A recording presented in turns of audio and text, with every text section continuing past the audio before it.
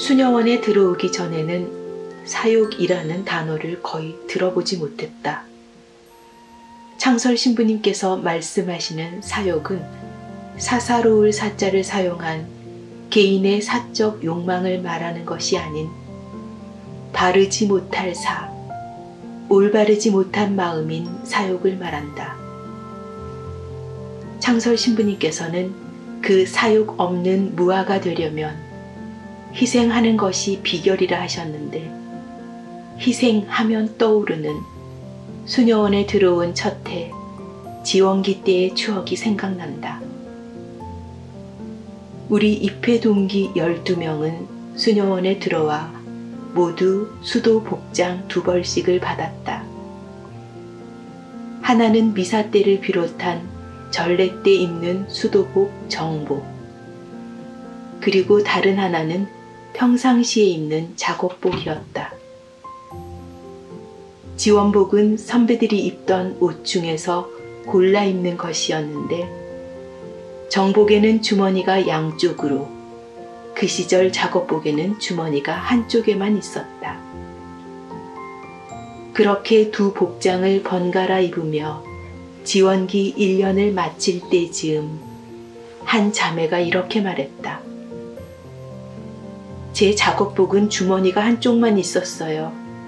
처음에 고를 때, 아, 이걸 내가 희생으로 입어야겠다 하고, 저 이걸 골랐어요. 우린 그 순간 모두 일시 정지가 되었다가 다 같이 박장대소를 했다. 작업복은 원래 주머니가 한쪽만 있었다고 모두 깔깔 웃으며 지나간 추억의 한 장면이 수도 생활 20여 년이 지난 지금까지도 우린 희생하면 그때의 추억을 꺼낸다. 남몰래 본인만 아는 지향으로 봉헌한 희생의 일년. 똑같은 옷을 입어도 그 지향이 소중했다. 맛난 반찬이 나오거나 먹음직스런 과일이 나올 때 수녀원에서는 가장 상태가 좋고 맛있어 보이는 것이 마지막까지 남아있다. 누가 늦게 올 일이 있으면 가장 좋은 것을 미리 담아 남겨두는 곳이 수도원 주방이다. 난방이 안 되던 선배 수녀님들 시절엔 아픈 자매의 침대를 따뜻하게 데워두기 위해 자매 몰래 미리 물주머니에 뜨거운 물을 담아 이불 속에 넣어두었다 한다.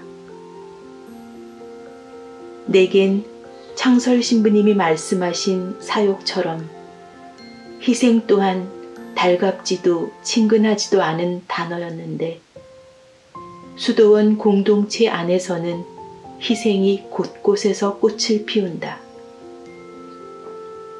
희생은 전화 위복의 비결이다.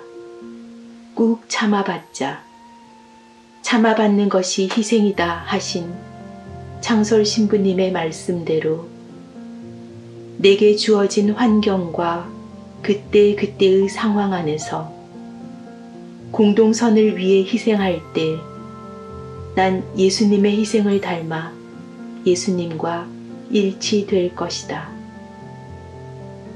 예수님과 일치된 한 명한 한 명이 모여 지금 이곳이 지상 천국이 될 것이다.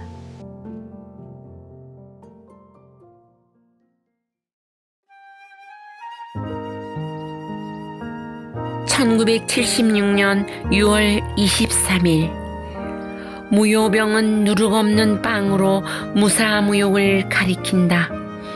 누룩 없는 떡은 사욕 없는 무와 죄 없으려면 사욕까지 없어야 한다. 마귀의 유혹에 빠진 의지의 소사는 사욕이다.